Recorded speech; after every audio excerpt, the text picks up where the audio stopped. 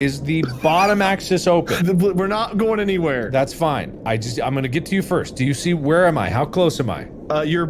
Uh, Ah, I see your light. 20 meters? Okay, I see your light. Guys, I need you to come downstairs and open this hatch. I'm coming. I'm coming. I'm coming. Please. We're gonna rescue Mark, and uh, all will be forgiven. Guys, you right? got like 10 seconds. I'm right here, bud. I'm right here. Uh, how do I open this? Come here. Why can't I open it? Guys,